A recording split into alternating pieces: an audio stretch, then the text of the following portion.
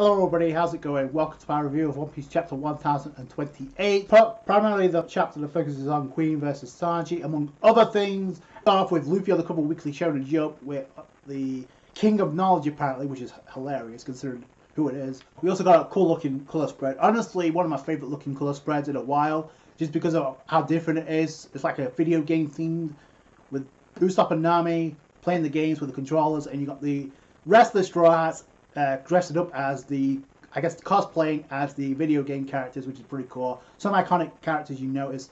Jim Jinbei as Mario, obviously. You got Franky as Donkey Kong. You got Luffy as Ryu, of course, from Street Fighter. And you got Zoro as Link, which is hilarious. And I'm wondering, it's going to be foreshadowing whether or not we actually get the full Straw Hats by the end of Wano, considering what we got in this chapter. We start off with, I guess, Cipher Pol, and you see the one of the scouts with the eye symbol. The agent is talking to CP0 on the other side. We get to find out who that is. Well, first off, they talk about how the Devil Fruit Vegapunk made is related to the another dragon that appeared in front of Kaido. So they don't seem particularly worried about that, considering they brought it up a couple of chapters ago, because they're, under the assumption that these pirates will take themselves out, which is, in my opinion, a complete mistake. So they're just waiting until everything dies down, apparently orders from high above in the unlikely event that Kaido is defeated. Some warships are coming into Wano, so that's not good. Number one, the border of Wano aren't even opened yet, and you already have warships on the way from the world government that's, that's been deployed. So they're gonna come into Wano. There could be someone ready to take care, to take care of them. Maybe the rest of the Big Mom pirates, because we still don't know where they're at. And I could definitely see them doing something unless they're dead, which is completely disappointment, considering one of them is a Yonko commander in the form of Smoothie. So that could be disappointing if we don't get to see anything else with them. We know Big Mom's on the island dealing with with Kid and Law. So we also get a brief about how the numbers are from where how the numbers were how the numbers were before the battle actually started on Onigashima to how it is now. So before the battle started, it was 30,000 to 5,400. Now the president is like 12,000 to 8,000, and obviously that's due to Thomas of Dinkibi Dongo. But then the most important part of this chapter is like, okay, uh, there's one more order. It relates to the Straw Hats. Make sure you capture Nico Robin. And they don't see kill her. Make sure capture Nico Robin alive. So no matter how this ends, and we see Brook and Robin making their way through the Beast Pirates, which I can't I can't tell if Robin's actually putting up a fight. I, it doesn't really matter at this point. But it, the most important part is Robin's awake now, so Robin's able to move on her own. But yeah, the, now there's a element of danger that approaches Robin. But it's cool that Brooks getting a chance to shine, even though he didn't get a 1v1. Then again, Chopper didn't really get a 1v1 either, and neither did Usopp. So unless th- things change, which I don't think they will, just because Oda's literally trying to wrap up the ending of Wano. Whether or not we lead into another act, I don't know. I don't know if there's enough time for that with Oda, because it's like he's trying to polish everything off right now. He's trying to expo- he's trying to show us what's going on before he opens the next act in Wano. I don't think there's much point in doing that, considering. And I'll get into that more. We jump to Momonosuke. He's trying to control the clouds. You can see the flames around Onigashima, and we, we find out that Yamato is separated from Momonosuke again because Yamato has an idea so Momonosuke is like trying to like control the Onigashima as you see rocks falling apart. Again, like I said, th- those are not pebbles, so that's not going to tickle if they land on someone. Because there's weapons inside on Onigashima, you see like Yamato trying to cl- climb, I guess remove some of the weapons so it doesn't go off like a nuclear bomb. We get the part where Yamato separates from Momonosuke. So Yamato go- decides to go back to, to the Skull Dome to, to minimize the destruction by removing the weapon which is pretty smart on Yamato's behalf. Yamato goes into a full Zoan form for the first time, so that's pretty cool. And it's interesting too because it looks like Yamato's actually climbing Onigashima. It looks like Yamato's in a hybrid form, but then decides to go into a Zoan full Zoan form, which is pretty cool. This is pretty cool because it gives Momonosuke a chance to like get some development and actually act, be a shogun and hero like Oden was, without being pushed by someone else. Like Momonosuke needs some development by himself. So without Shinobu, without Yamato, without Luffy, Momonosuke has to be the one by himself to overcome his fear and say and stop on Onigashima and probably save the people in the flower capital. There's a lot of speculation that because of Momonosuke, he's going to use his clouds to like move Onigashima away from the flower capital. My question is this: Where is he? Where is he going to put it? Where is he going to land it? Where is he going to guide it? Because Yam- Yamato is going to get rid of the weapon so it doesn't cause as much destruction. That takes care of the people that's inside, but it doesn't help the people that's down below. But speaking of which, we go inside and we see Sanji's clash with Queen. And I mentioned in the previous chapter how we didn't get to see Sanji at all, but we did see Queen. And when we saw him, he was in his Brachiosaurus form. I thought it was kind of weird.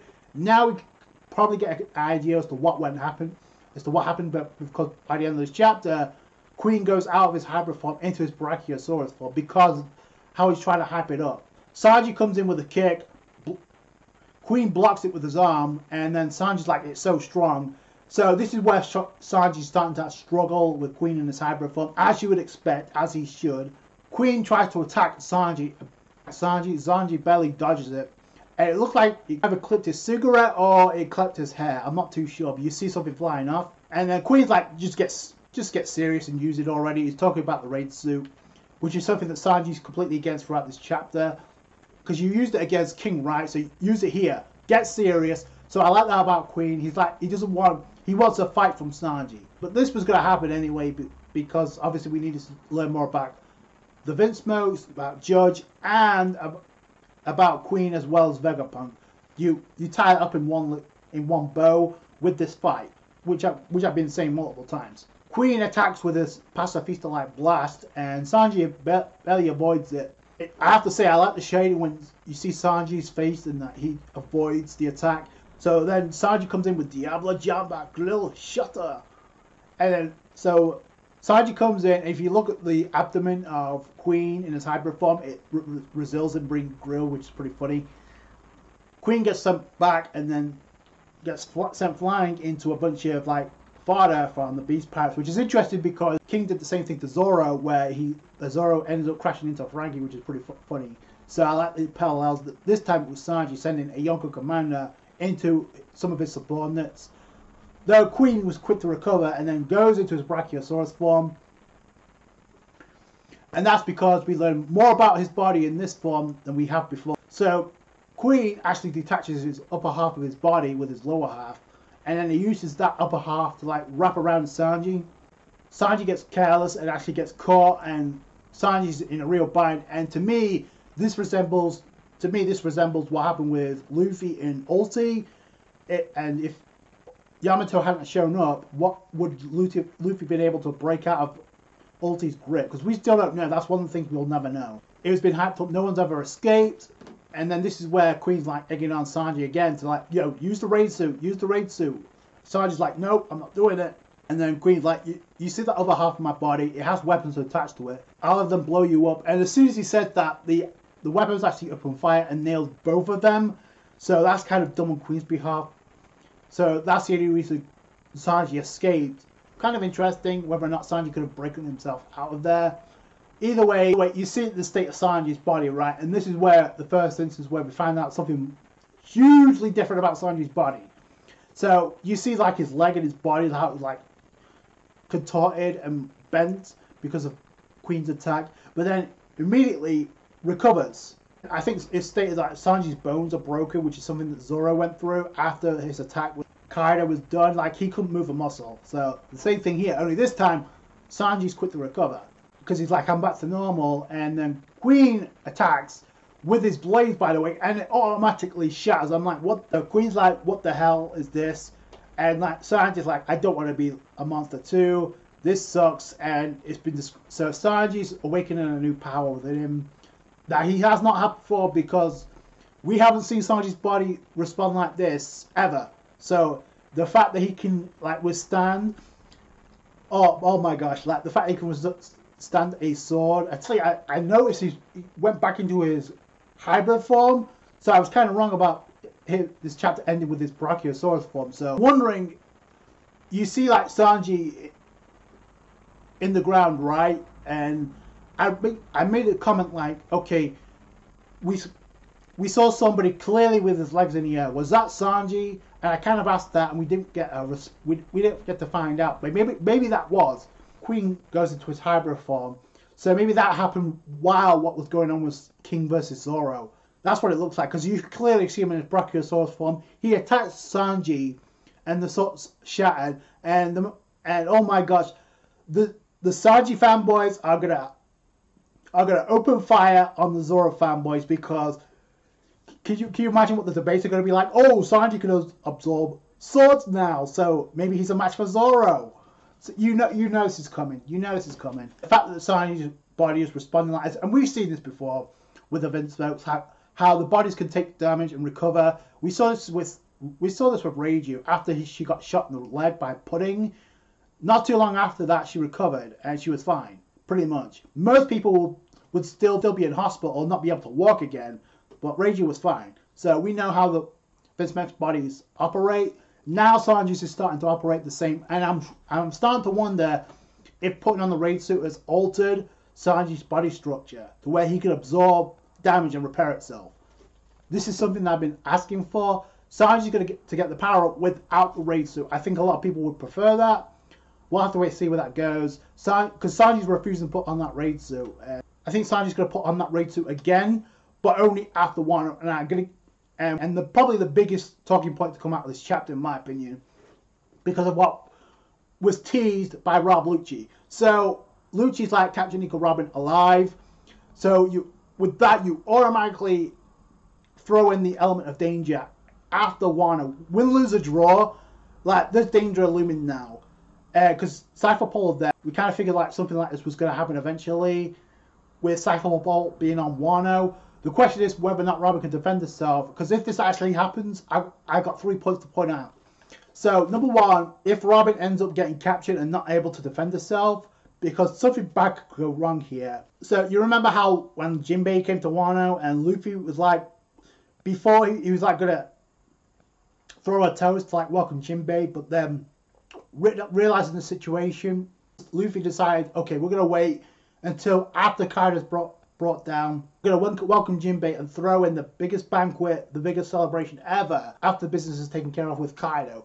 Is that gonna happen now? Because this could be a bit bittersweet ending because if Robin gets captured again, they're gonna be they're not gonna sit around and wait. We know that for a fact. Another thing to point out is like if Robin gets captured, I think this could this strengthens the idea of Yamato going with them because there's already teas there's already a chance that Yamato could ally with them anyway. This would be a good opportunity for that to happen. We'll have to wait and see.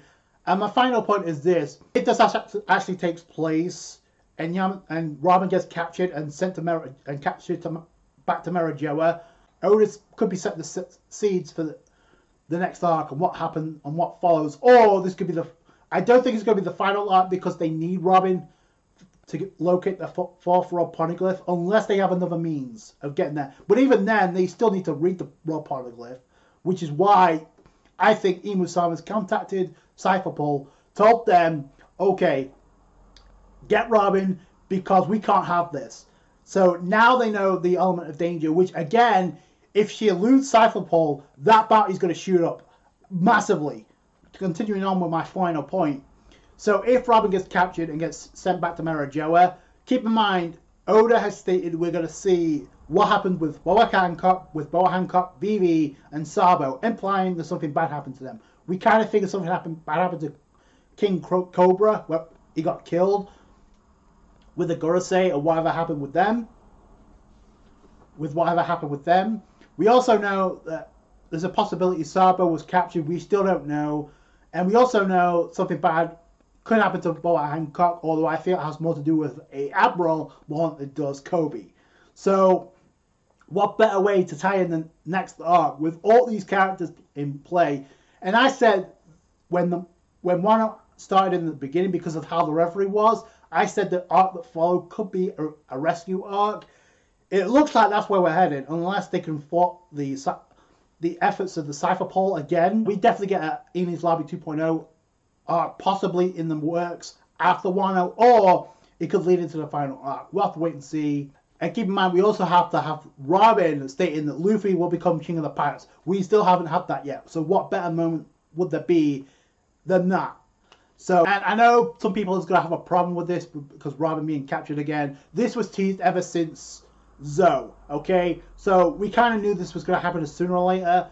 And even if the government wasn't going to be the ones to try and kidnap Robin again, Blackbeard would have. Big Mom is also after after Nico Robin. Black Maria was instructed not to kill Robin. She's vastly important to everybody, all the players involved. Another thing to point out, this is my final point, because you have Sabo there, if Robin gets captured to the same place, this could be the opportunity because you know Dragon's going to go in and try to get his get Sabo back. Luffy's going to do the same, and by default, you could have the chance for a reunion as well as them both trying to get the Nakama back. That's how Oda could play this. But yeah, this is definitely interesting. It, even if you don't feel the sense of danger with what's going on with Kaido not anymore, you definitely get the uh, sense of urgency with what could happen after Wano, with what happens after the battle with Kaido, because the Straws are not going to have the energy to fight back unless Robin could fight off Cipher Pol once they come in to try and capture her. I don't know, but I did I did say there's not going to be a celebration here because something bad's going to happen. I thought initially to Jinbei, but this could be now okay. I know it sucks, but it, this is where the plot could move along. It could be where the story moves forward, going forward. We'll have to wait and see. But yeah, I definitely, a, a definitely interesting talking point. Unfortunately, we have two weeks to wait, so we have two weeks to wait whether or not Sanji, well, you what that new power will be. And then again, Oda could cut back to Killer versus Hawkins next, or cut to Big Mom versus Kid and Law next, possibly. We also have Zoro versus King in his hyper form, but I feel like that's either going to be before Big Mom versus Kid and Law or after, because I have to, that has to end before Luffy takes on takes down Kaido. Well, no matter how that's done, it's going to be interesting to see where it goes moving forward. I think oh, it could be the case where Oda's already setting the next arc up. We'll have to wait and see. So let me know what you guys think down below. I thought it was a great chapter. Didn't expect the beginning of this chapter. That's going to do it for you guys. Thank you so much for watching. Like the review if you did a thumbs up. I appreciate that. Subscribe to for more One Piece. Catch you guys later. Thanks, guys. Bye.